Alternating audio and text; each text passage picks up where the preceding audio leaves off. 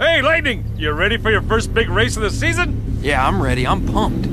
Speaking of pumps, if Flo pumps me full of any more fuel, I think I'm gonna bust my trailer hitch.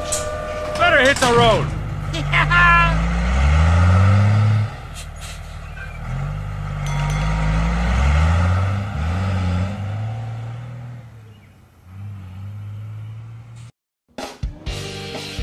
Darrell Cartrip here at Palm Mile Speedway for the start of what's going to be an amazing Piston Cup race season.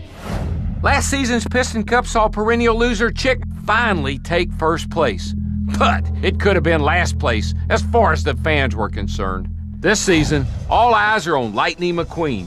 And I gotta tell you, after his incredible display of sportsmanship, I know a lot of y'all are gonna be rooting for him. With the King retired, it's gonna be Chick versus Lightning this time around.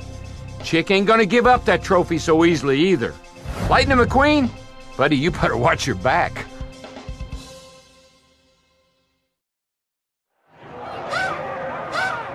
Hey, Guido, all set?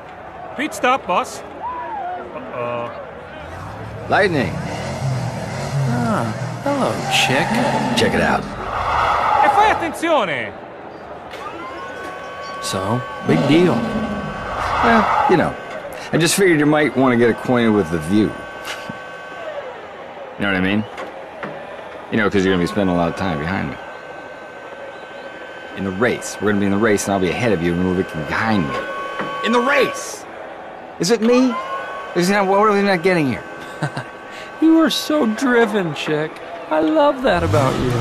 Hey, you! Back to your pit. Stop bugging my driver. Too bad your crew chief isn't going to be out on the track to look after his little boy. Ow, excuse me. Ehi, cosa ti prende?